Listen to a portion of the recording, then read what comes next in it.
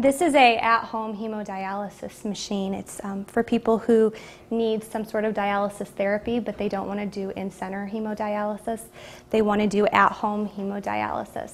The benefits of home hemodialysis is that it's very flexible for your schedule. People are still able to continue working, um, going to school, being part of their families, being more active in the community.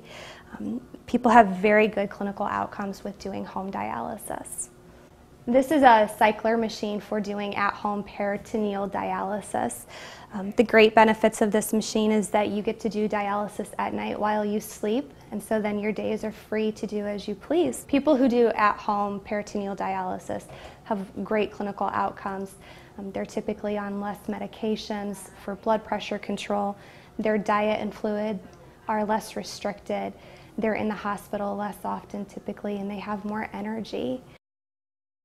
The views expressed in this program are those of the presenters and sponsors and are not necessarily those of WTHI TV or its corporate parent.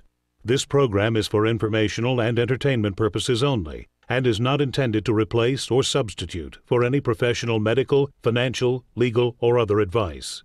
WTHI TV makes no representations or warranties regarding this program.